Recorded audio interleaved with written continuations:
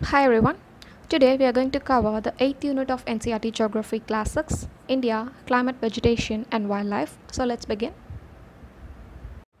We often get confused with climate and weather. Sometimes we even think they are same, but they are not. Weather is a short-term condition of atmosphere, whereas climate is said to be the average of weather that was extended over time along the years in a particular location or a region. We have studied about India's physical feature in our last lesson.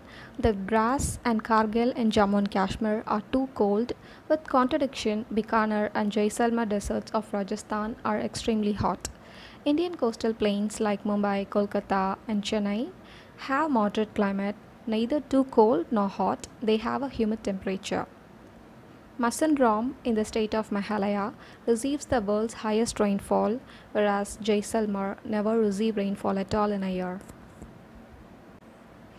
The climate of India is of monsoon type. The term monsoon is taken from the Arabic word mawsum that means season.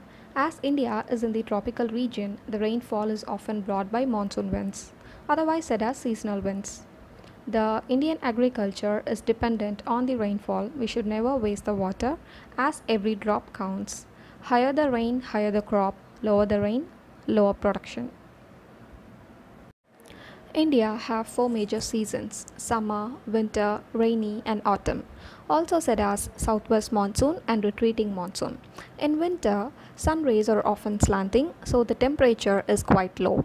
During summer, the sun rays fall directly on the region, so the weather is hot. Dry winds called Lu blow throughout the day. Next is southwest monsoon.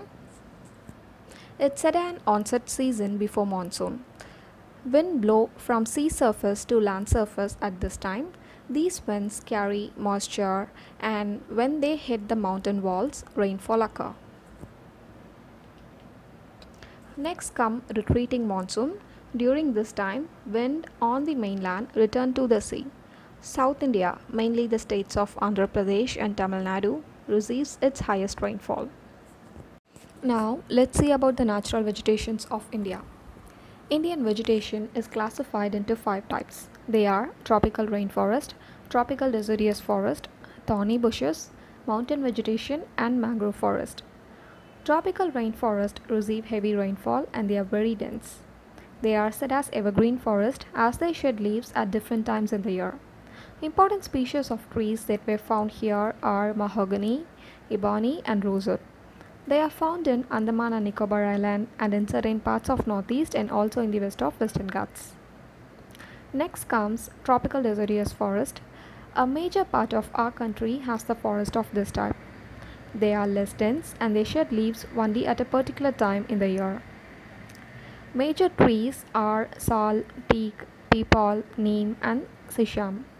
They are found in Madhya Pradesh, Uttar Pradesh, Bihar, Jharkhand, Chhattisgarh, Odisha, and in some parts of Maharashtra. Next comes thorny bushes.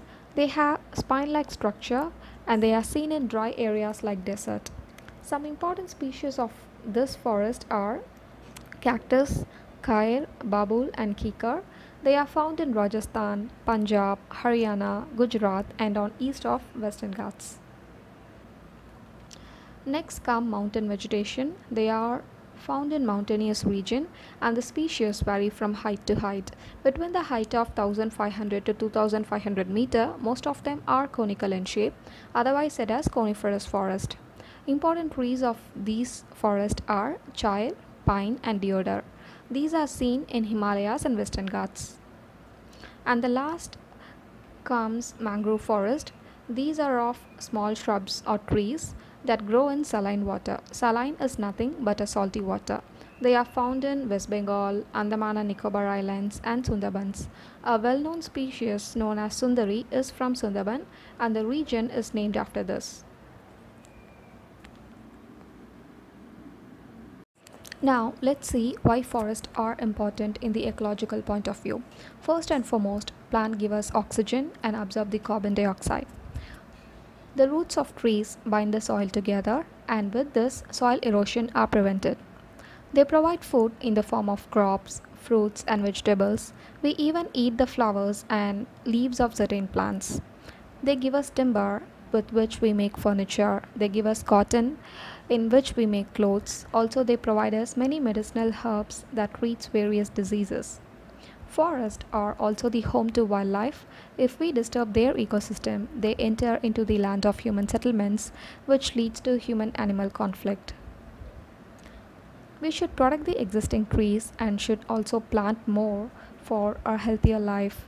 Government also initiated many special programs like Van Mahotsav. It's an annual one week tree planting festival across India. The Wildlife Week in India is celebrated in the first week of October. Tiger is our national animal and peacock is our national bird. One-horned rhinoceros and elephant are seen in the forest of Assam. Elephants are also seen in the state of Kerala and Karnataka. Asiatic lion is seen in the Gir forest of Gujarat. Likewise, camels and wild asses are seen in Rann of Kutch and Great Indian Desert. Snow leopards, wild goats, and bears are seen in Himalayas. These are only few. We have many more species in Indian, in Indian wildlife. Also, India have a rich bird life. Many species of birds like pigeons, myna, geese, bulbul are seen. Also, bird sanctuaries are built to give them their natural habitat. Sanctuaries also protect them from hunter. Also, many varieties of snakes are seen in India. Due to deforestation and hunting, many species die every year and even some become extinct. Also, we can conserve the wildlife when we refuse to buy things like horns, skins, bones, and feathers of animals. Also, national parks, sanctuaries, and biosphere reserves are developed to protect the wildlife. Project Tiger and Project Elephant are among the conservation initiatives of government and they were aimed to protect their species from extinction. In the last few decades, many species became extinct. A few examples are dodo, Pyrenean ibex, and woolly mammoth. After the extinction of dodo, a species of tree such as acacia stops regenerating completely. Whenever a species becomes extinct, it leaves a scar behind that affects the entire ecosystem. It is highly crucial to protect our wildlife. So we have come to an end. Hope the lesson was useful and I will see you in our next good video.